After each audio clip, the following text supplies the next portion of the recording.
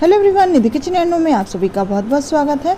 आज मैं आपके लिए लेकर आई हूँ केक की रेसिपी जिसे हम व्हिप क्रीम से बनाएँगे, लेकिन पाउडर व्हिप क्रीम से। यदि आपके पास व्हिप क्रीम ना हो तो आप इस तरह से बना सकते हैं। तो यहाँ पर मैंने लिया है ये व्हिप क्रीम ये मैंने ऑनलाइन मंगाया है। आप ये किसी भी बेकरी शॉप से भी ला सकते हैं। तो यहाँ पर सारे एक्सट्रक्शन दिए गए हैं। आपको उसी तरह से इसे बनाना है। इसमें लिखा हुआ है सात सौ पचास रुपये लेकिन ये इतने का नहीं आया है। ये मुझे पड़ा था साढ़े तीन सौ से चार सौ के लगभग का। तो ये चल जाता है, जितनी इसकी डेट है ना, उसके अंडर ही हमें इसको बना लेना होता है। तो विप क्रीम हम इसको फ़र्स्ट बार ट्राई कर रहे हैं तो देखते हैं इसका रिव्यू क्या रहता है। यहाँ पर मैंने ठंडा पानी लिया है, क्योंकि हमें इसे एकदम ठंडा, चिल्ड पानी में ही विप करना है।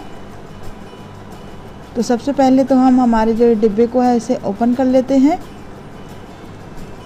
इसको हम खोल लेंगे और इसे खोलने के बाद आप इसे इसी तरह से फिर जब आप इसके जितना इस्तेमाल करना हो कर लें और बंद करके आप रख दें, इसे आप फ्रिज में ना रखें, बाहर ही रखना है हमको।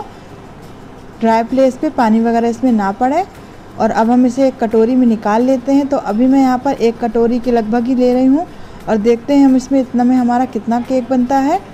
तो ये देखिए, हमने यहाँ पर एक कटोरी भर कर यहाँ पर ये विप क्रीम पाउडर निकाल लिया है।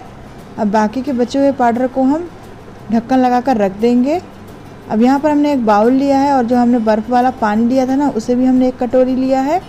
जैसे कि बिल्कुल दूध या फिर मलाई होती है ना, उसी तरह से हम इसकी कंसिस्टेंसी करेंगे। और कम्प्लीटली तीन मिनट हमें इसे अच्छी तरह से वीप करना है। तो ये देखिए, तीन मिनट तक हमने इसे हाई स्पीड पर विप कर लिया है।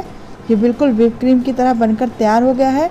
पंद्रह मिनट आप इसे रख दें, आप फ्रिज में जब तक ये सेट हो जाए अब यहाँ पर हमने एक केक स्पॉन्ज लिया है। इसे बनाने की रेसिपी मैंने आपको शेयर की है। तो ये देखिए, बिल्कुल विप क्रीम के टेक्सचर की हमारी विप क्रीम बन गई है।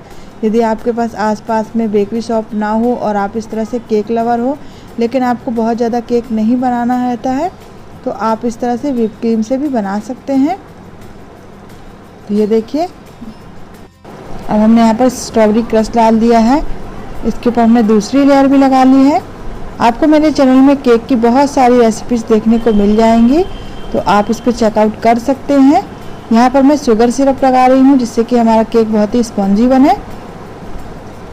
मेरे नए नए वीडियो को देखने के लिए चैनल को सब्सक्राइब कर लें बेल आइकन दबा लें और ऑल पर क्लिक करना ना भूलें, जिससे सारी नोटिफिकेशन आपको मिल सके। ये देखिए, बहुत ही अच्छी तरह से जितनी एक कटोरी हमने व्हिप क्रीम अभी तैयार की थी ना उतने में बहुत ही अच्छी तरह से केक बनकर तैयार हो गया है।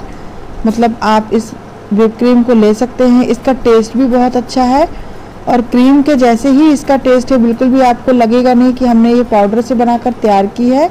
तो मैं इसे गोल्डन इफ़ेक्ट दे रही हूँ। तो यहाँ पर हमें गोल्डन डस्ट लगा रहे हैं।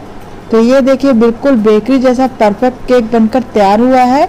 आई होप कि आपको ये आज की रेसिपी पसंद आई होगी। इसी तरह की और भी वीडियोस देखने के लिए चैनल पे बने रहें। मैं मिलती हूँ नेक्स्ट वीडियो में। Thank you thanks for watching